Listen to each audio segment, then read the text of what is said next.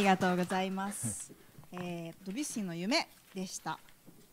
このハーモニーが絶妙で、あのさすがさすがドビュッシーってそんなおこがまね私が言うまでもないんですけれども、このねなんていうのかな、いい印象派、インプレッショニスティック、うんこの和音の感じが難しいよねきっと。うんうん、そう不思議な感じですよね。うんこのふわってした感じがね、ふわっとした感じ。うん、そう。素敵な、そうこの時代の西洋の音楽は結構日本の音楽の影響も、うん、あのインドネシアの音楽の影響結構あるから4回とか、うん四4度和音とかモードとか、うん、すごくいろだから意外意外にこうこう逆輸逆輸入的なもんだよね。そう。